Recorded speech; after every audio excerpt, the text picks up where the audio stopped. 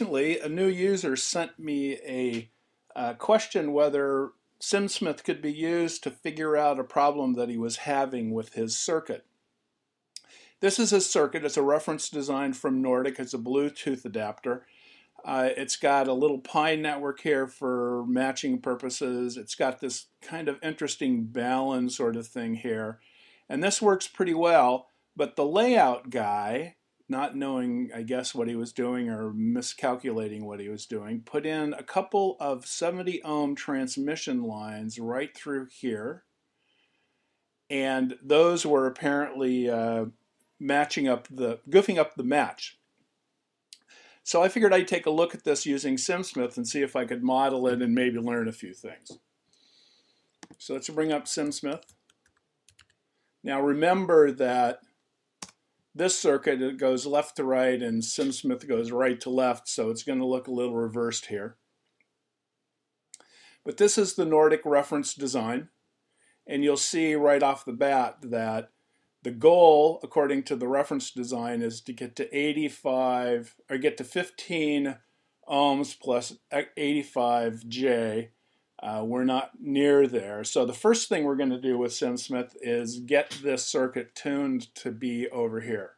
Now the way I'm going to tune it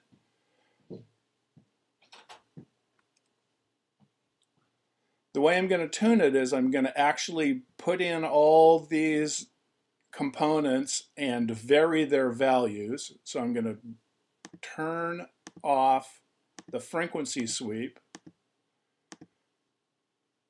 and I'm going to turn on variation in all these components and you can see it's, it's pretty centered around there. I'm going to go and make the variation much larger. And now you'll see we're kind of all over the map. And what I want to do is adjust these component values so that I get over here. Now I'm going to pick one, it's not necessarily the best one, but I'm going to pick one simply by right-clicking on it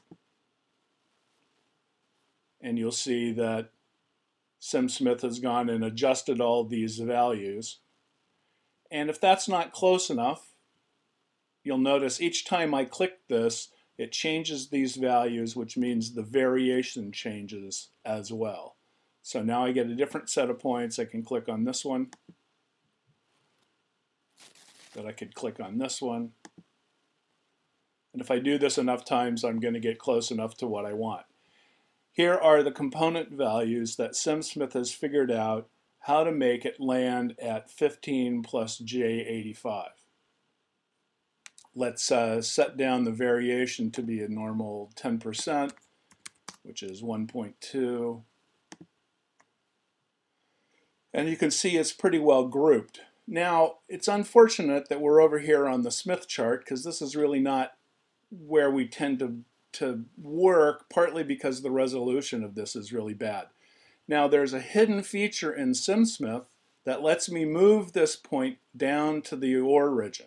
Now when I do that, that means that the Smith chart is not really a gamma of one with a circle around it. It, it, it really can confuse you. So when you do this, you want to be aware of what you're doing and realize that your normal intuitions about the Smith chart may not may not be right. This particular feature is invoked in a hidden way by giving the generator two parameters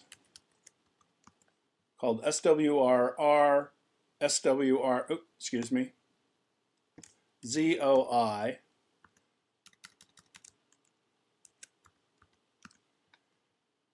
and that sets the imaginary part of Z naught. So let's go up here. We'll set Z naught to be 15 ohms and the imaginary part to be 85. Now if I zoom out, we'll see that the circle of our Smith chart, our working region, is right around here. Now, the other thing we want to do is move our SWR circle to be around this point, and that can be done in a similar way by adding SWRR, which is what I tried to do earlier, SWRI. Again, two more hidden parameters. And here I'm going to set this to be 15 and this to be 85. And now our SWR circle is being plotted around the impedance that we want to see. You can look here, here's the real impedance here in red. The blue down here is imaginary. It gets a little messed up and I could clean that up, but we don't use this very often. Now I can go back, turn off component variation and go back to just a simple trace. You can see across the 2.3 to 2.5, it's a pretty solid match. And if I go down here, you'll see that it's also a pretty solid match. Now, one of the things I'm going to want to do is, is figure out how bad that pair of transmission lines screwed me up. So I'm going to do, I'm going to adjust my power level here using the impedance inside here, which is supposed to be 15 minus 85, and we're going to set the power level C. Let's take a quick look at here. We got 15. The inside of this would be minus 85 because it's the conjugate of what they wanted up there. And power we're going to set to be something like 0.5 and then I'm going to adjust it. So now I want to play with the power level so that my voltage and impedance have been set so that it's going to deliver 1 watt to the load or 0 dB. Now it's not really doing that. This is all relative. I could have set it to 10 dBm, but I'm going to set it here for the time being. That's close enough. So now the question is, what happens when you turn on this transmission line? Now, right now it's set to be zero. Here, let's look at this again. Its length in centimeters with naught and a velocity factor. Velocity factor in printed circuit boards is about 6. Again, we're just trying to get a handle on what's going on. Let's set this to be 1.5 centimeters, which is the length that the layout guy put in there. As you can see, the instant we do that, delivered power dropped by, uh, looks like 24 dB, and the match is completely off the scale. We're not anywhere near. We could go look at it without it being re realigned, but it's really not worth it. Let's take a quick look at what will happen. Um, well, okay. First of all, we see that it's down horribly. Um, we would like to know now, we know that this etch is bad. Um, if he had, for example, put it over here, we would find that, oh, you know, that's not, it, it's not good, but it's not horrible. Um, we could have uh, adjusted things a little bit if he had put the matching circuit near the chip, but he didn't do that. So we'll put this back over here. Now, we hate to relay out boards. Uh, maybe there's something we could do with these component values. After all, here's this nifty pi network. Certainly we could be using that to do a match, kind of a post-compensation idea. And to do that, we want to go back and tune these parameters. And we're going to tune them the same way we did before. We're going to come up here and say we're going to put up with a times 3 variation. And we're going to turn on scanning of all the component values.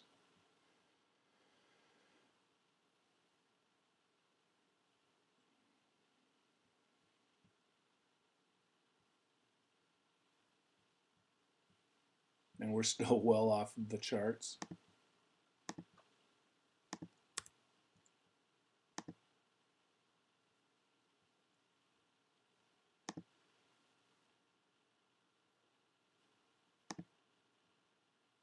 See, we got one right here.